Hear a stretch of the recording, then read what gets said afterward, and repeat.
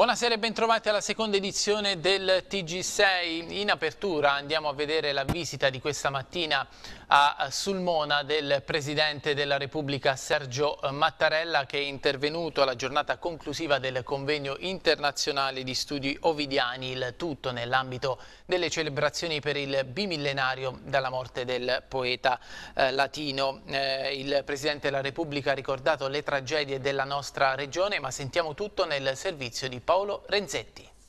Si è conclusa poco prima di mezzogiorno la visita del Presidente della Repubblica Sergio Mattarella a Sulmona. Mattarella nel suo discorso all'interno del Teatro Caniglia che si trova alle nostre spalle ha ricordato l'importanza di Ovidio ma ha ricordato anche e soprattutto Fabrizia Di Lorenzo, la ragazza sulmonese morta nell'attentato di Berlino e ha ricordato le vittime del eh, terremoto dell'Aquila. Ha parlato anche il Presidente delle sofferenze dell'Abruzzo nelle ultime scosse di terremoto dello scorso inverno e della valanga valanga di Rigopiano. Andiamo ad ascoltare le parole del Presidente della Repubblica e all'uscita del Teatro Caniglia del Governatore della Regione Luciano D'Alfonso.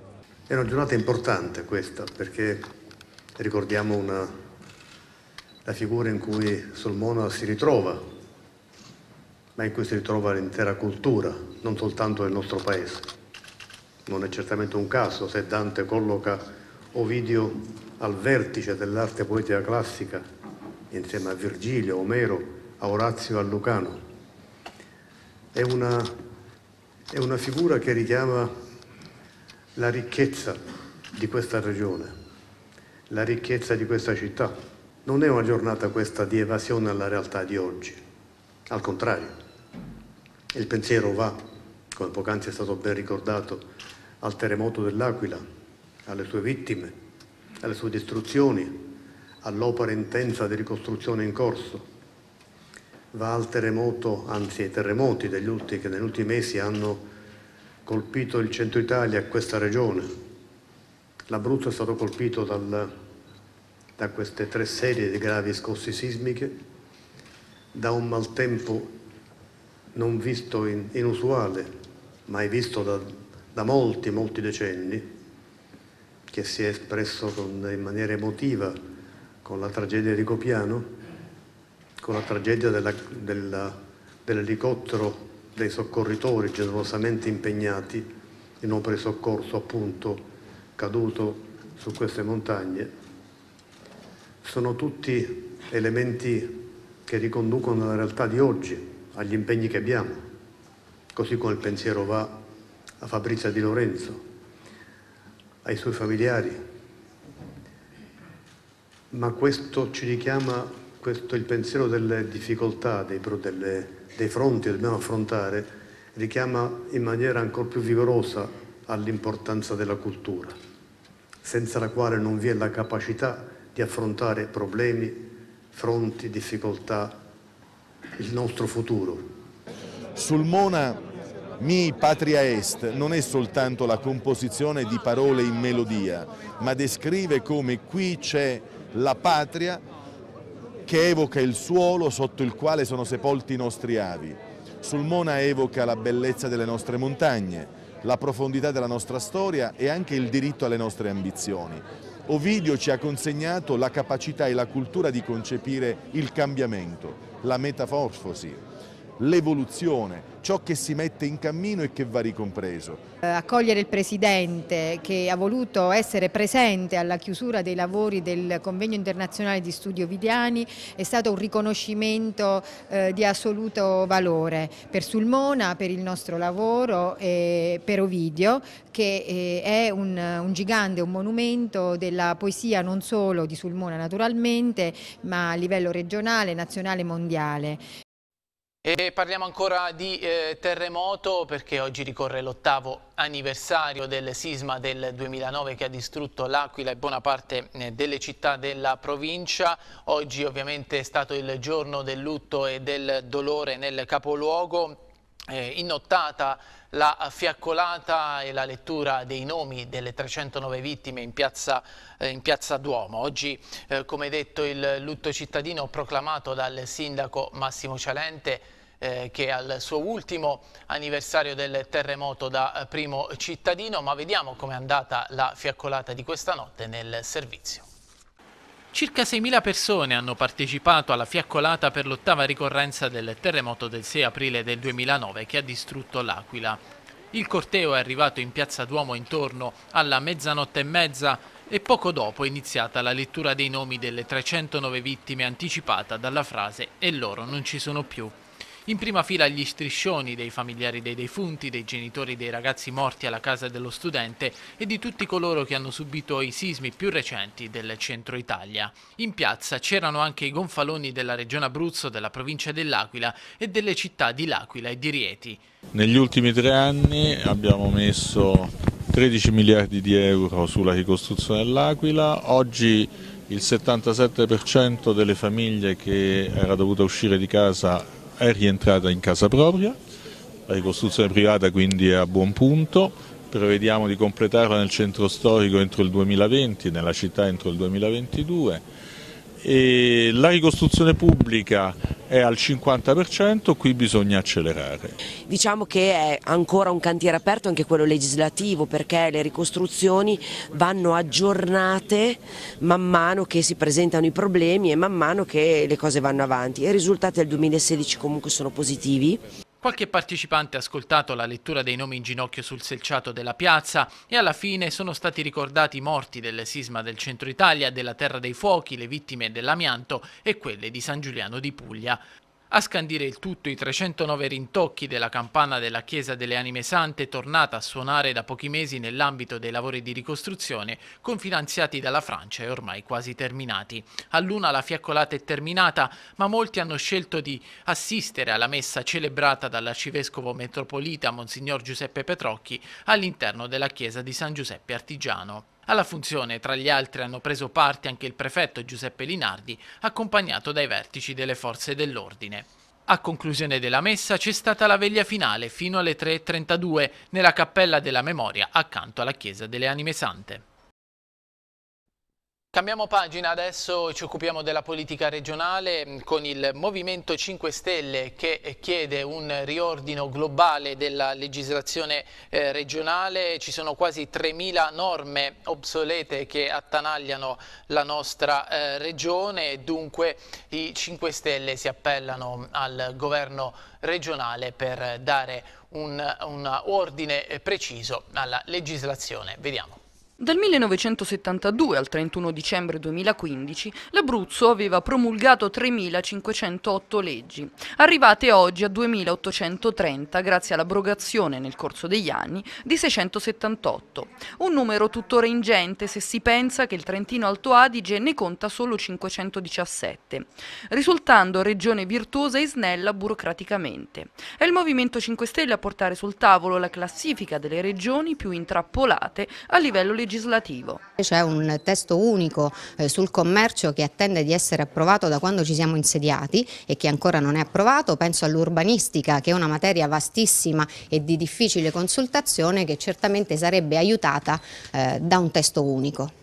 Tra le proposte dei 5 Stelle volte a garantire omogeneità, chiarezza e semplicità ci sono un provvedimento taglialeggi, l'istituzionalizzazione di un provvedimento di manutenzione normativa che non lasci diventare obsolete le leggi esistenti e infine un riordino generale che preveda anche testi unici su temi quali agricoltura, ambiente, commercio, urbanistica, edilizia, turismo, welfare e nomine. In Regione Abruzzo gli abruzzesi e le imprese abruzzesi sono sottoposti in media al doppio delle leggi rispetto ai cittadini e alle imprese delle altre regioni. Eh, evidentemente eh, la regione facile e veloce che il Presidente D'Alfonso prometteva in campagna elettorale non si è ancora vista e non la vediamo nemmeno all'orizzonte. Quello che chiediamo è un riordino eh, di tutta la legislazione eh, abruzzese con un provvedimento taglialeggi in modo tale da eh, ripulire eh, l'ordinamento regionale da tutte quelle leggi obsolete che sono però ancora in vigore, che ingolfano tutti i procedimenti e che molto spesso creano anche contenziosi. Chiediamo inoltre la redazione una volta per tutte di tanti testi unici in modo tale da avere per ogni materia, per ogni competenza un'unica legge eh, completa e di facile consultazione. Ed ora a Pescara torniamo al Consiglio Comunale di ieri che ha sancito eh, Pagnanelli quale nuovo presidente del Consiglio comunale al posto di Blasioli che è diventato vice sindaco in un domino che ha portato Enzo Del Vecchio alla eh, segreteria del governatore D'Alfonso. Eh, sempre ieri ha fatto il suo ingresso nell'assise civica Stefano Casciano, primo dei non eletti del Partito Democratico. Per lui è stato un ritorno dopo nove anni di assenza. Ascoltiamolo nell'intervista. Che effetto le ha fatto rientrare in Consiglio Comunale dopo nove anni? Eh, rientrare dopo nove anni in Consiglio Comunale diciamo che mi ha creato una certa emozione. Sono molto emozionato, eh, però diciamo, entro in Consiglio Comunale consapevole del grande lavoro che c'è da fare e metterò tutto me stesso a disposizione di questa amministrazione e della città. C'è qualche tema che le sta particolarmente a cuore che vorrebbe portare avanti all'interno del, della maggioranza? Ma I temi che mi stanno più a cuore sono quelli legati alle politiche sociali e anche ai lavori pubblici. Diciamo. Eh, I temi legati alle politiche sociali, noi viviamo eh, una crisi eh, che colpisce le famiglie di Pescara, in particolar modo le famiglie che risiedono nei quartieri popolari, io spero di riuscire a dedicarmi maggiormente a loro. E poi per quanto riguarda i lavori pubblici, Pescara nonostante il grande lavoro che stanno facendo come amministrazione, diciamo che ci sono ancora alcune lacune da, da colmare. A Lanciano Ecolan cambia pelle e ehm, ha un nuovo statuto, ma eh, non si placano le polemiche attorno alla partecipata eh, con eh, Forza Italia, in particolare Fabrizio Di Stefano, che contestano sia la governance che il futuro di questa azienda. Vediamo il servizio. Dopo il passaggio nei consigli comunali, i 53 sindaci soci di Ecolan, l'ex consorzio rifiuti di Lanciano, hanno adottato il nuovo statuto della SPA pubblica. Alla presenza del notaio, l'assemblea, presieduta dal sindaco di Lanciano e riunita in seduta straordinaria, ha approvato il nuovo documento che rafforza il controllo analogo in materia di affidamento dei servizi in house. Un passaggio obbligato dopo i rilievi del TAR Abruzzo, che a novembre scorso aveva bocciato le delibere di affidamento in house a Ecolan per i servizi di igiene urbana nei comuni di Lanciano e Atessa. Ancor prima era stata annullata la delibera del comune di Orsogna. Chi pagherà i danni del periodo in cui la società in house ha svolto il servizio senza essere in regola?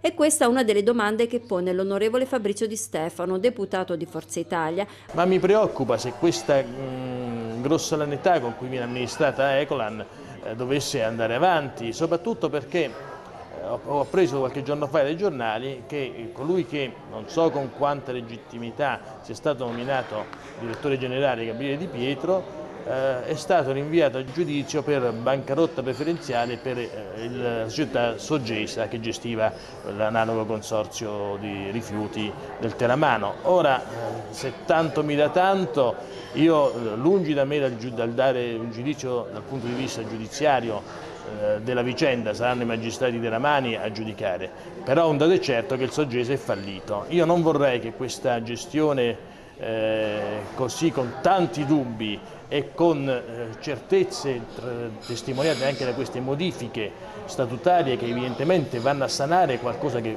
sano non era, non vorrei che anche Ecolan eh, arrivasse a dover tra qualche tempo sancire un tracollo economico. Ed ora siamo ai temi del commercio, al comune di Pescara eh, si è attuato un piano per il rilancio del quadrilatero dello shopping nella zona centrale della città, a disposizione ci sono 50.000 euro eh, di fondi da spendere in accordo con gli esercenti e destinati ad iniziative e progetti volti ad attrarre possibili consumatori in centro città. Sentiamo. Dalle parole ai fatti, così annuncia l'assessore al commercio Giacomo Cuzzi, che spiega il progetto messo in campo dall'amministrazione comunale per dare nuovo slancio al cosiddetto centro commerciale naturale di Pescara. Il quadrilatero dello shopping del centro città avrà a disposizione 50.000 euro per l'avvio di iniziative dedicate al salotto buono. Avremo una prima posta di 50.000 euro eh, appunto per la nascita, la creazione e poi l'attuazione dei programmi che andranno a lanciare il centro commerciale commerciale naturale. Eh, faremo degli incontri a partire da oggi con le associazioni di categoria, con le associazioni di commercianti, con i commercianti singoli per avere un programma snello, veloce, rapido affinché questo eh, fatto del centro commerciale naturale presto diventi realtà. Sarà una serie organizzativa che punta a rilanciare la vocazione attrattiva, a far arrivare tanta gente in città e a rilanciare il commercio. Commercianti ed esercenti saranno chiamati personalmente a dare il proprio contributo nell'ideazione e costruzione di iniziative capaci di offrire appetibilità e fermento allo shopping cittadino. Stiamo facendo un calendario in sinergia con l'ente manifestazioni, con la Camera di Commercio, col porto turistico e sicuramente ci saranno tanti appuntamenti anche a vocazione, soprattutto a vocazione commerciale, che poi puntano a segnare dei più per la nostra città che significano il rilancio dell'economia. Ora i temi della sanità, risultati di tutto rispetto per il biennio di screening della mammella organizzato dalla ASL di eh, Teramo. Mm, eh, sono state raggiunte 40.000 donne dalle lettere eh, inviate dalla ASL di cui ha risposto il 60% circa. Il servizio comunque eh, sarà eh, potenziato anche perché eh, sono previsti nuovi arrivi di macchinari nei presidi ospedalieri teramani. Inoltre lo screening ha fatto sì di abbattere anche le liste d'attesa. Sentiamo l'intervista al dottor Capone della radiologia dell'ospedale di Atri. Dottor Capone, dal 2014 siete partiti con lo screening eh, della mammella, eravate a zero, siete arrivati al 60% e oltre, un risultato che è andato anche oltre le più rosee aspettative. Sì, sicuramente sì, nel 2014, nel, nell'estate del 2014 eh, la Regione ci ha ricordato che bisognava eh, attivare lo screening della mammella che era un LEA, un livello essenziale di assistenza e che noi eravamo carenti in quanto fino all'agosto non avevamo fatto nemmeno una mammografia di screening. Quindi siamo partiti, ci siamo organizzati con una struttura che era inesistente, abbiamo reclutato tutto il personale, medici, infermieri, tecnici di radiologia in tutti e quattro gli ospedali e gli obiettivi erano due, quello di chiamare tutte le donne tra 50 e 69 anni, quindi inviare una lettera a tutte le donne di età compresa tra 50 e 69 anni, quindi coprire al 100% la chiamata delle donne, è un obiettivo che abbiamo raggiunto e soprattutto ottenere un'adesione all'attività di screening che almeno raggiungesse il 60%, ma soprattutto abbiamo eh, lavorato sull'informazione delle persone e abbiamo fatto l'informazione a doppio senso, non abbiamo solo comunicato quello che facevamo, detto quello che facevamo, ma abbiamo anche attivato delle centrali di ascolto. Alle sue spalle c'è una mammografia in questo caso positiva e che ci eh, introduce insomma al tema dei risultati. Eh, tante volte si dice importante la prevenzione e in questo caso lo screening si muove in questo senso. Eh, prevenzione che è importante perché si può eh, cogliere il tumore prima che dia sintomi.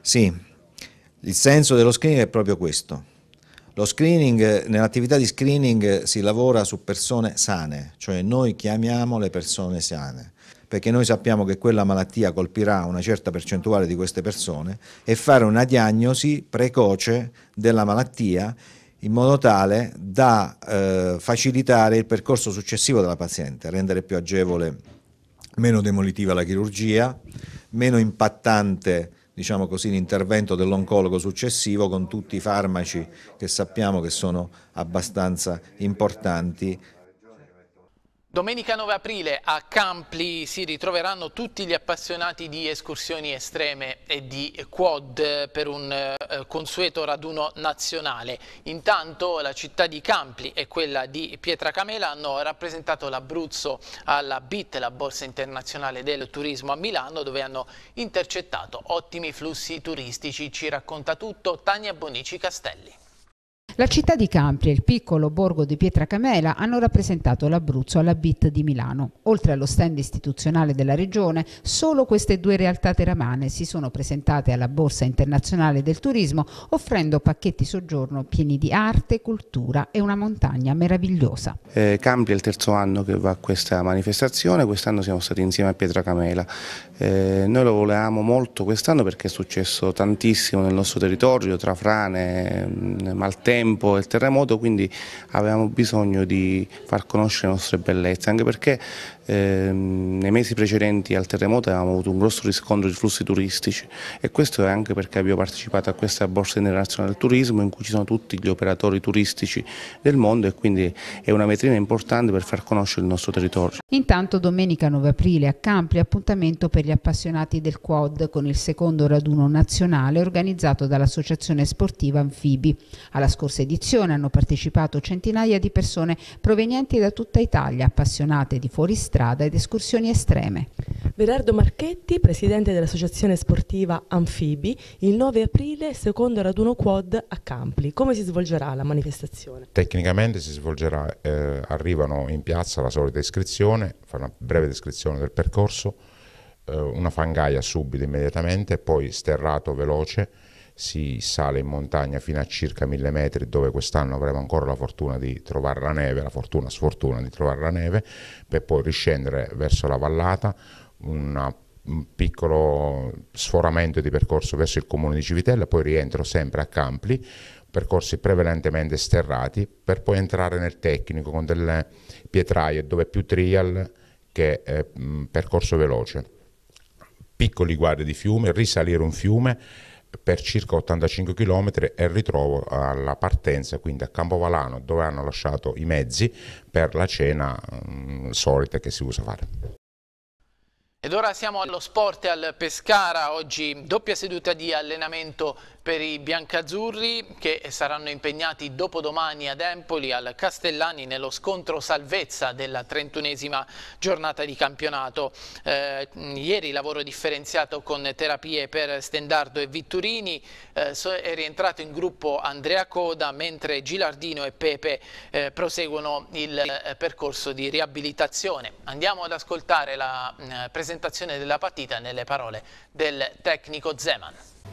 E bisogna provarci sempre, a prescindere, a prescindere come finisce, ma io penso che nessuno vuole arrivare ultimo, c'è la possibilità matematica ancora di salvarsi e cer dobbiamo cercare di sfruttare queste possibilità.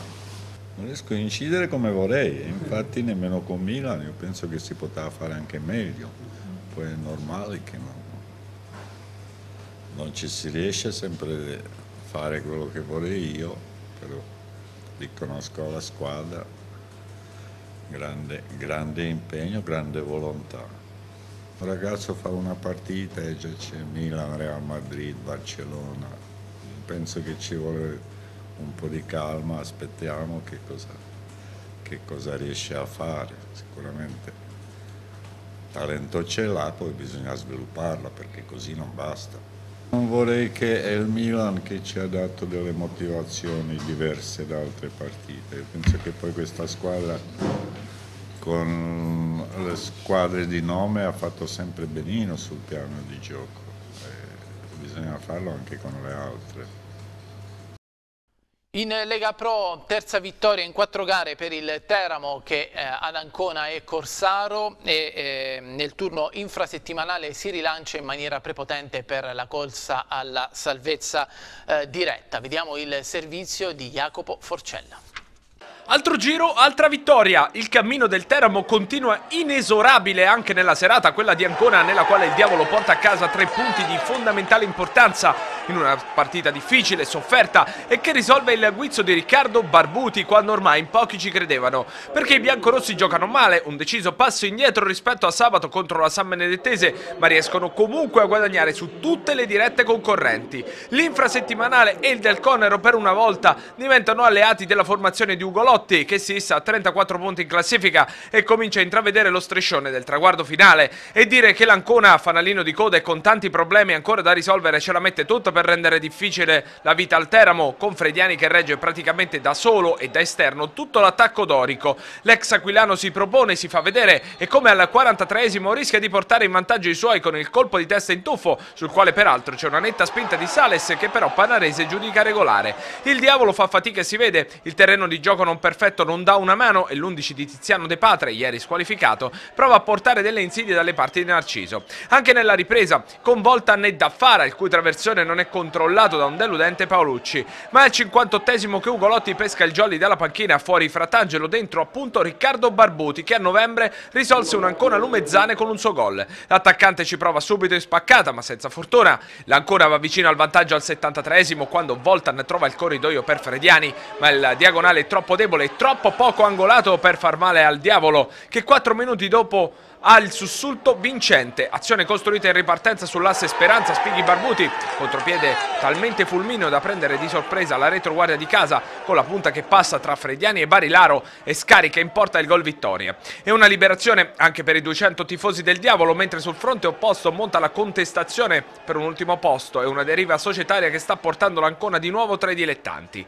Il Teramo prende e porta a casa la terza vittoria nelle ultime quattro gare. In 18 giorni, dal 6 a 0 al Gubbio del 19 marzo alla serata del Del Conero il panorama in casa biancorossa è cambiato radicalmente. Ugo Lotti sta perfezionando un miracolo sportivo che dopo la sconfitta con l'Albino Leffe pareva impensabile. Merito suo e di una squadra sempre più convinta che la permanenza in Lega Pro sia una missione assolutamente possibile.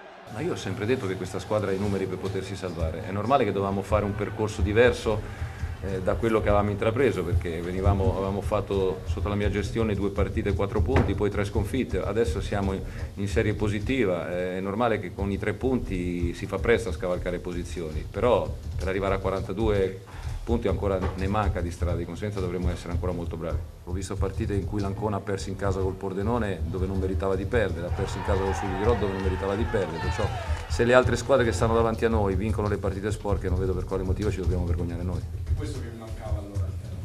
No, al Teramo mancava la convinzione perché è una squadra che ha delle, ha delle buone caratteristiche, e mancava quel pizzico di fortuna perché senza quella non vai da nessuna parte, perché è inutile riconoscere che oggi quel pizzico di fortuna è stato dalla nostra parte, però bisogna andarla anche a cercare con il lavoro settimanale questo, questo è un gruppo che da, mesi, da un mese e mezzo a questa parte sta lavorando molto sotto. È tutto anche per la seconda edizione del TG6, il prossimo appuntamento con la nostra informazione alle ore 23. Grazie per essere stati con noi, vi auguro una buona serata.